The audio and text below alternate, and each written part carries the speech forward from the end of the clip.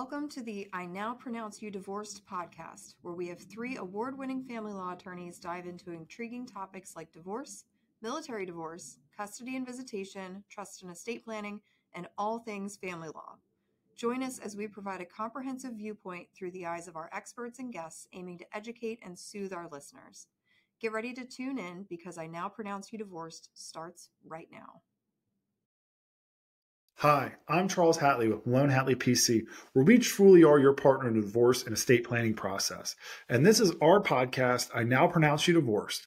Today, I'm joined by Dan Cuneo, and we're going to talk about uh, protective orders, orders of protection. Uh, they're called different things in different jurisdictions. But to get started, Dan, can you kind of explain to us what those are? Sure, uh, you're, you're you're spot on. It all depends on the jurisdiction you're in. I know where I'm licensed in, it's called orders of protection or OPs. Some call them protection from abuse, PFAs. Some call them restraining orders. But basically, at the end of the day, regardless of the name, it's an order that's entered by the court that prevents your spouse or someone that you have a close relationship with or living with from get uh, harming you in some physical way. And in order to apply for one in most jurisdictions, at least the ones I'm licensed you have to show that there is usually imminent harm, that the person has the ability to, to harm you.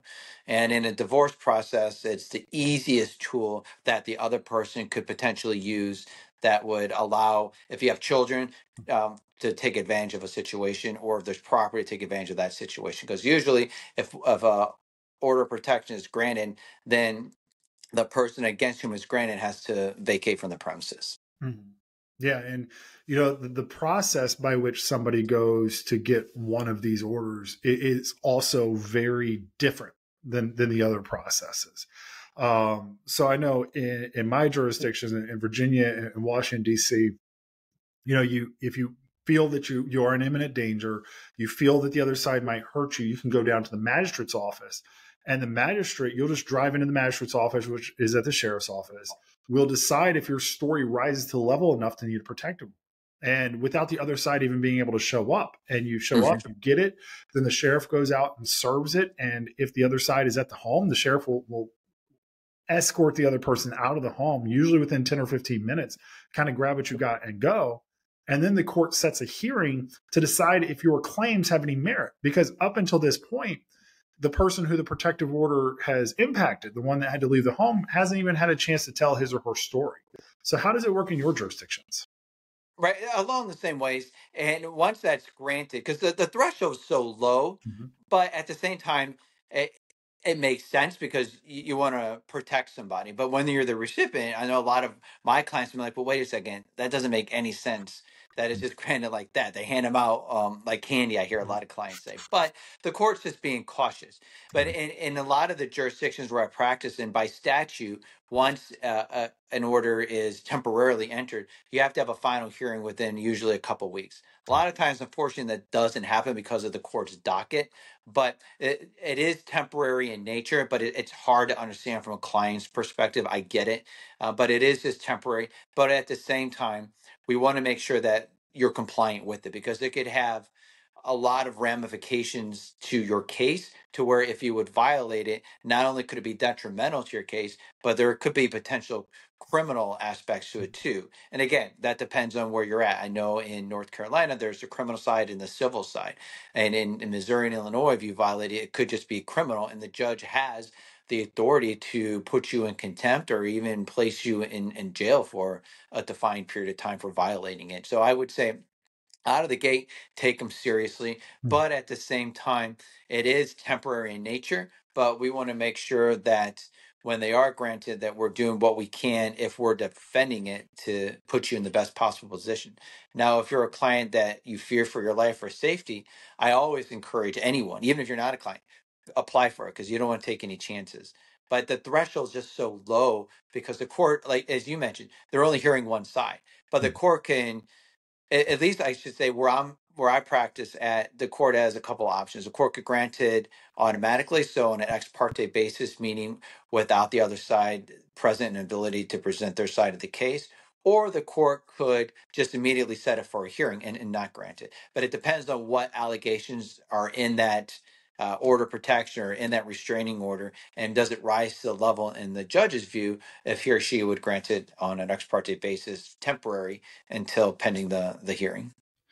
And I know in, in, in, Virginia and DC, you have to relinquish any weapons. So your, your guns, even on the temporary one. Is that the same where you're at? Yes. And I, and I know here, you know, with the number of, of military members and, you know, federal government employees we have who carry weapons on a daily basis, that can be quite an arduous order because now they have to take a temporary order that has mm-hmm. not yet had any factual basis proven and, and, provide it to their commanding officer, to, to their boss, and say, look, I, you know, I, I've got to change the way I'm carrying my weapons at this point. And, and usually we're able to go into court fairly quickly and get an exception for weapons needed in the line of duty. Right. Um, you know, the, the, court has broad discretion to change, you know, right. language, but like you said, you've got to do the right thing. So if you are subject to a protective order, somebody goes and gets a protective order against you, what is the right thing to do? If someone seeks a protective order against you, immediately comply with whatever is written in that order. Usually, uh, as you mentioned, a sheriff will come and they'll serve you with it and ask you to leave. They will give you an opportunity to grab some of your belongings. Now, it's not an opportunity to take everything. It's usually just a bag or a backpack, mm-hmm. as much as clothes as you can essentially throw or stuff in there, and then you're out.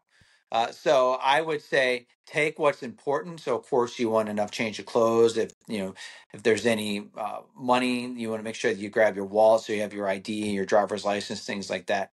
But then I would contact an attorney right away because time's of the essence. The longer this goes on, the more you're potentially giving credibility to it. Now, there's not much interaction that can happen in between, but when you hire an attorney, then they can start building up your defense. You can start determining, okay, who am I going to call as a witness? This is what they're going to testify to. This is what really happened, and allow some limited discovery to take place if there's any phone calls or text messages, emails, social media posts, things like that.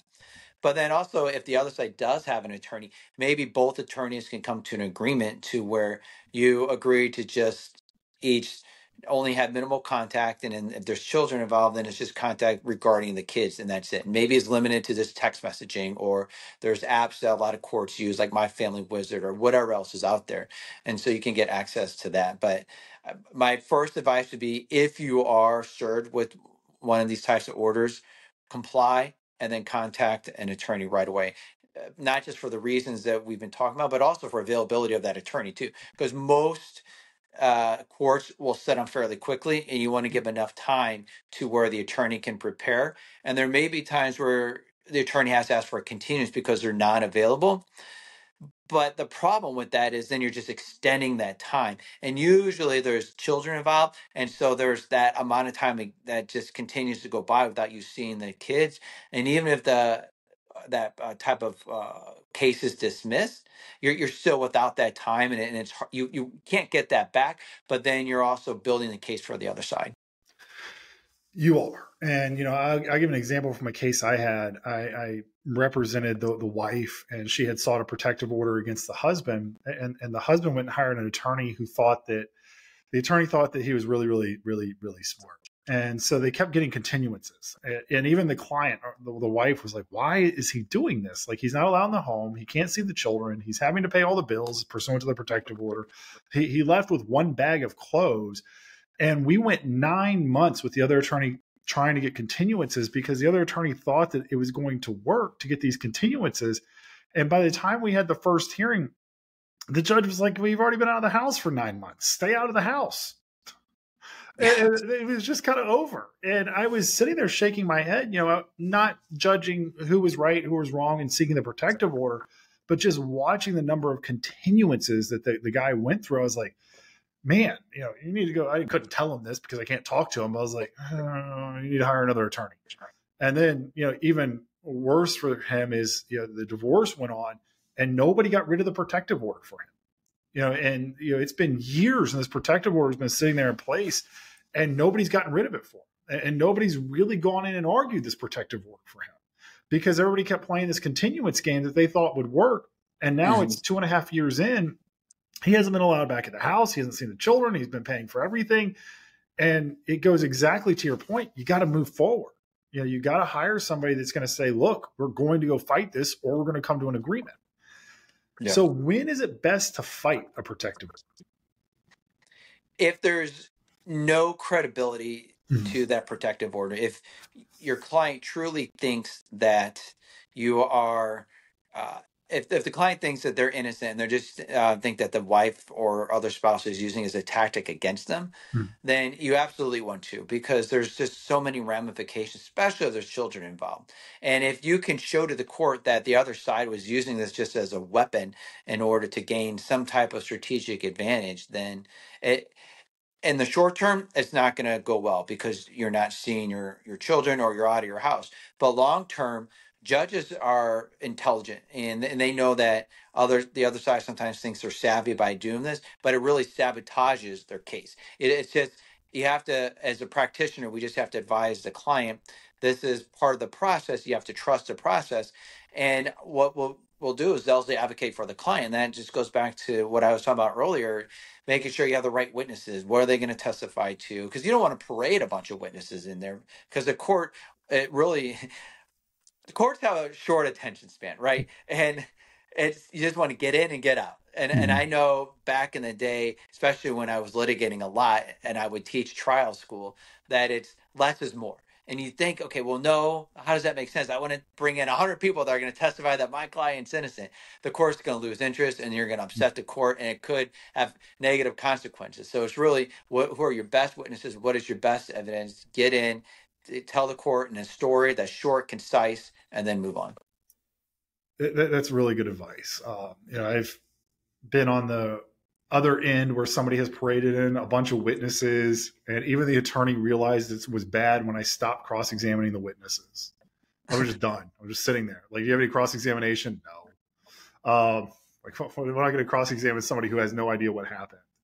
uh, you know, you want to, like you said, make sure that you have witnesses that that knows what happened. Right? If you get a protective order that says on such and such date at such and such time you did something, and you have a witness saying, no, no, no, no, that we were out bowling during this time. That's the witness you want saying, look, we're, we're bowling during this time. This is where we we're at. Or you know, and you always hate to bring children into this, and I do too. But sometimes kid children are the only evidence that you have. And I've had to ask for children past a certain age, right? Not a three year old, but maybe like a 10 or 11 year old. Say, Your Honor, can you just talk to the kid? You know, just, just throw your shoulders up. I don't know what the child's going to say. Can you just talk to the kid and see if this happened? And, and I've gotten a lot of dirty looks from judges from that. I'll be honest. I've had judges really give me dirty looks, and I have to explain to them. There's only one. There's only one other person here who knows what happened, and it's this mm-hmm. child. How do you feel about having children testify? That that's tough. I I I a lot of times will just kind of vacillate back and forth and, and weigh what the probative value is, and it and it goes to knowing who your judge is, because mm-hmm. uh, the judge could talk to the, the child in camera, meaning in their chambers, and and try to make it as relaxing as possible. It also goes to the age of the child too. Mm-hmm. That will weigh heavily as far as if I would make that suggestion. But your your point's well taken. If there if one spouse is alleging uh, something happened against the other spouse, and the only other person there was the child it, it, may make sense to talk to the child. But of course, we want to take in consideration their age, their mental capacity and ability, and we don't want the child to feel like they're picking between mom and dad. And so it, it, it's hard. And, and a lot of times, in my experience, judges may do that, but their their preference is let's uh, get a guardian ad litem involved. Yes, and you know one of the like you said earlier, setting up these these um, these trial strategies requires time. You know, if the court was going to have a trial on your protective order in two weeks and you are confident of your innocence, you say, look, this didn't happen. Yes, my wife and I were in the home by ourselves, or my spouse and I were in the home by ourselves, but this didn't happen. You you can't hamstring your attorney's ability to put together your case. You know, saying, look, we need to get a, a guardian ad litem because I, I, don't know how you feel about it, and I'll ask you first before giving my opinion. But when you have been accused of a protective order, it, do you feel that you're guilty until proven innocent, or innocent until proven guilty? In those situations, just because the threshold is so low, I feel it's reverse on on what our system promotes. Right, mm-hmm. you're guilty until proven innocent, which you're not truly guilty, right? In the sense that you could face potential jail time or other remedies available to the court. But in the court's eyes, they're just taking a, a more cautious view. But to me, I look at it, it's yeah, you're you're being prejudged. Now I know others listening may think, well, what would happen if they didn't do that and they just set a hearing? Then you hear all these issues that happen on the news and you read about them. And so the courts are trying to to prevent that. So I get it. But from a client's viewpoint, I think, and in my experience, a lot of them feel um, guilty before proven innocent. I would agree with that. And, and like you said, the court almost has to take the stance of better safe than sorry. But when they they take that stance, it does impede the rights of somebody. Um, mm-hmm. You know, I'm there's a case right now up in Loudoun County, Virginia, where a, a a wife was killed by her husband. So her husband got out of jail. She went and sought a protective order, and the judge was like, "I'm not giving you a protective order. A condition of his bond is he can't have any contact with you." So I think like five hours later, the guy went to the house and killed the wife. Um, and now the estate is actually suing the county, Loudoun County, over this death, wrongful death, because the court wouldn't do anything. So, you know, you, you look at it in that extreme, and you can kind of see why the court would, would take this stance of better safe than sorry. But to me, that brought up a really interesting issue. What can a protective order actually do to protect you against somebody who is truly violent? Right. Uh, that that's a great point. I mean, you have the order and it, it says protective, but that's just saying to the other side, you have to get out of the house. You have to mm-hmm. stay a certain amount of feet away from me from a defined period of time. But it's not as if there's an invisible wall or something that if you walk towards them, it just stops you, right? So mm-hmm. you could. I mean, you could have a order entered against you, whether it's temporary or even by by trial entered against you, and you can still go to that house, enter in by force if if you do, and still cause harm. But it, it's it's a peace of mind for some of the victims that are out there, but also it, it establishes rules of the game as far as how your case is going to progress forward and what needs to be done in order to be successful in in trying to achieve some of the goals that the, the client wants. But at the end of the day, unfortunately, there's no fence or anything that's built around someone that would protect or insulate them from the potential abuser. Hmm. Well, I want to thank you for joining us today for part one uh, of talking about protective orders. You know, this is the uh, Melone Hatley PCI Now Pronounce You Divorce podcast. Um, you know, if you or someone you know is going through the divorce process or have questions about protective orders, give us a call and see the difference that a partner can make for you. And, and join us next time where we're going to talk about part two of protective orders and, and really some of the advice that we give people as they're going through this this relatively harsh process. So, thank you very much. Hi, this is Dan Cuneo with I Now Pronounce You Divorce. Thank you for taking time to listen to this week's podcast. Please join us next week for part two. Thank you for tuning in to our podcast. If you found this episode helpful and you want more informational content, please be sure to subscribe and join us on all major social media platforms, including YouTube. Stay connected for more exciting updates and tips.